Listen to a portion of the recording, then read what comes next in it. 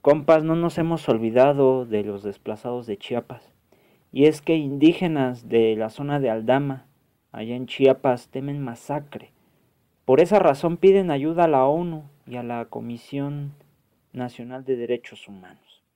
Indígenas otziles del municipio de Aldama solicitaron la intervención de la Comisión Nacional de Derechos Humanos y de la ONU para detener a grupos armados que mantienen sitiadas cuatro localidades y que hace 24 horas, desde, desde ayer, digamos, eh, se había dado estas 24 horas, ahorita son 48, extendieron sus ataques a la cabecera local. Al respecto, el llamado presidente municipal Ignacio Pérez Girón confirmó que los ataques se extendieron a la cabecera municipal y pidió por enésima ocasión al llamado gobernador de Chiapas, Rutilio Escandón, que le vale papura situación que mejor no digo la palabra, la instalación de mesas de negociación para desactivar este grave conflicto.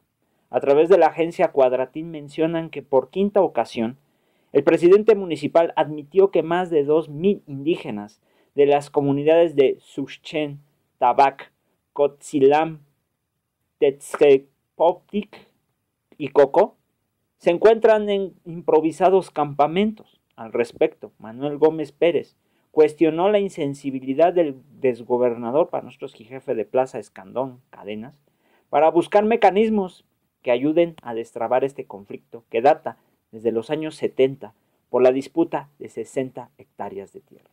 Pues al parecer la indiferencia del mal gobierno de Chiapas, el nuevo, el nuevo, parece que pretende darles el aval a los paramilitares para que comiencen a desplazar a las personas, a estos miles de indígenas que piden auxilio a gritos y que hemos dicho varias ocasiones en este canal, así como en otros canales que también mencionan, menos los de los pejes, que lo que pretenden es que entren las transnacionales ya, porque ya les urge por lo del tren Maya y lo del corredor transísmico. Están detrás de todo y por eso no ha querido reaccionar Rutilio Escandón, pues hombre.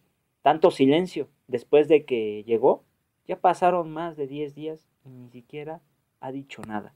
Es más, los días que apareces para mandar a, su, a sus puercolicías a reprimir a normalistas como lo que pasó allá en Tuxtla en contra de los normalistas de Mactumatza, ¿verdad?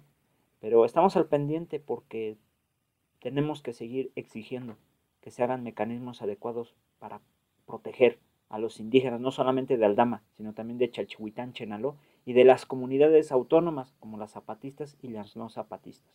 Estamos al pendiente de esta situación. Compas, les mando un fuerte abrazo, cuídense y saludos.